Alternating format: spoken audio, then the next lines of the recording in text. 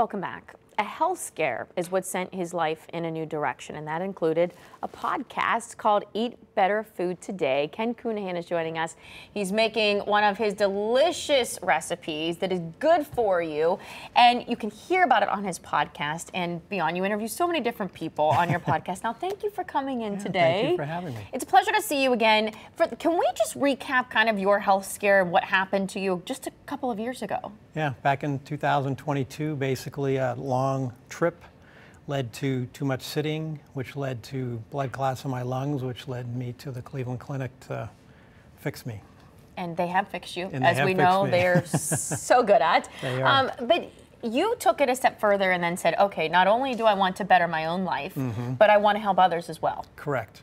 Yeah, so I just started thinking about what else I could do. I was in IT for a long time. Um, I've always liked eating good food, traveled a lot as a, as a salesperson in IT and ate a lot of good food. So I thought, how could I bring that back to Cleveland? And how we're also trying to build a center in East Cleveland, and then how do we kind of create something in East Cleveland to help out people there as well? You're doing it one moment at a time here with your podcast, and then doing something like this is awesome because you're about to show us a meal for four Yes. that you could, you know, people think, oh, I can't eat healthy and, and without breaking the bank. But Yeah. that's not true. That's not true. Yeah, every uh, we end every episode with a recipe for under twenty-five dollars for a family of four, which you can make in under thirty minutes. It just has, and this just has a few ingredients. All right, So- let's let's hit on it. Let's. What do we got? So this came. So just a little bit of background. So this came from Hope Barkoukis. She's the uh, uh, medical director for nutrition at Case Western Reserve University, University Hospital. So we actually, uh, I did a podcast with her, and then she invited me into. They've created a kitchen at Case Western Reserve University.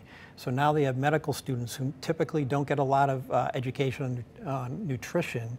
They had 30 of their 170 in this wellness program, and they invited me in, and they were making healthy meals as part of their medical education. That's wonderful. So now you're sharing it all with and Now us. I'm sharing it with you. So basically, what we have here, so we th- this chicken. So uh, one of my podcasts was Bob Safira, so I'll give him a plug we here. know He- Bob. You know yeah, Bob? Okay. He's been on the show before. So this is his uh, roast chicken because when I went to Heinen's yesterday to buy all the ingredients, they were out of rotisserie chicken. So normally you can just buy a rotisserie chicken that you can cut up so you don't have to spend the time that I took last night to make a chicken.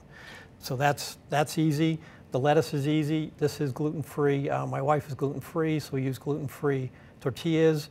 These were a miracle saver. So these are sweet potatoes, but they come in this plastic package from a company called Melissa's, and you put them in the microwave for four to eight minutes. And then while that's cooking, you start to make the ingredients. So we've got in here the, the black beans. I brought the, the cans here.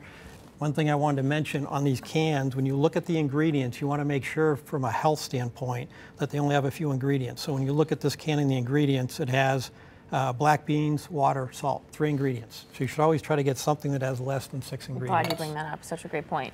And um, so, anyways, those are the black beans. We I used frozen corn. Frozen corn is actually when you can buy it in Ohio in the summertime. That's what I would use, but this it's not in season, so buying it frozen is fresher. And then we have um, just cherry tomatoes, a package of ter- cherry tomatoes you can see there that I've cut in half and kind of put in here. And so that's that's kind of the base. And then this is the dressing that we're going to put on this. So this has olive oil. So I've got the can of olive oil here, three spices, so cilantro, cumin, smoked paprika.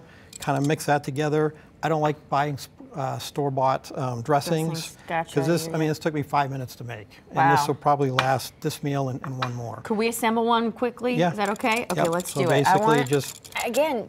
You, you- oh, first we got to drizzle. Got to get it all over that. Mhm. Yeah, so I didn't. And just kind of mix that in. What I put, the, all these recipes are online on my website, but what you want to do is also taste this before you start dishing it out to make sure it's got enough salt. I always have to. You, you got to always make sure that there's enough seasoning in there too. Yeah. So once you know there's enough seasoning, Yep. you you put it in your Bibb Yeah, lettuce. so or you- basically you, you put in a pan here, you heat up your tortillas for about a minute, put that ah, gotcha. under the Bibb lettuce. If Mm-hmm. you don't want to use the tortillas, you don't have to. You basically assemble your I like your portion sizes too. your tortilla here, kind of move this guy over here, so that's your sweet potato, and then you just take a piece of chicken or two that we've roasted, put it on top. I've got an avocado here that I've kind of pre-cut a little bit. Get a piece of avocado, put it on top, and then just pick it up and eat Roll it and and eat you've, you've got a healthy meal here.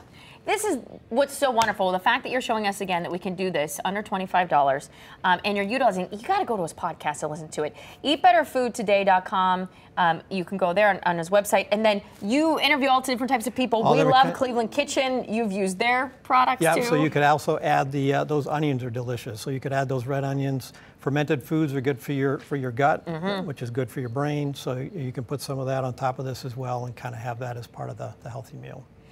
Check him out telling you, he is a wealth of knowledge. It's, it's, the passion from your experience has turned into something much bigger than that now. I think, can you come make another recipe sometime soon? Yeah, sure. Under $25, you can't beat this. And those look delicious. they taste Thanks delicious. for coming in.